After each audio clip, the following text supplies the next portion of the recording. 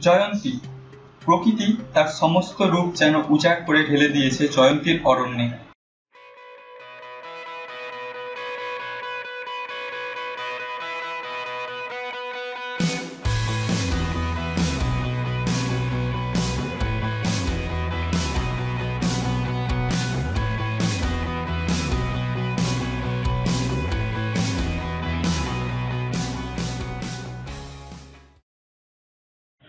তো ভিডিও শুরু করার আগে বলে দিই, যারা এই চ্যানেলে নতুন প্লিজ সাবস্ক্রাইব করে দাও।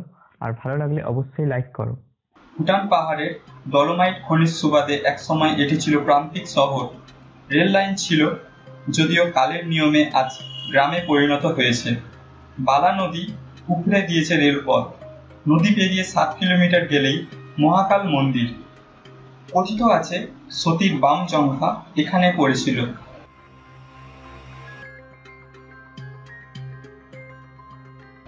রয়েছে চুনাপাথরের গোয়ার ভাস্কর্য।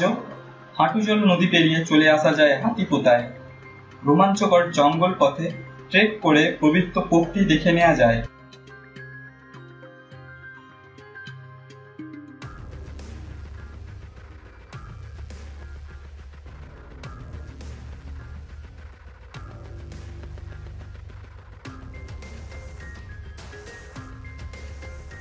পোখরিতে বুদ্ধি পূর্ণিমায় মেলা বসে।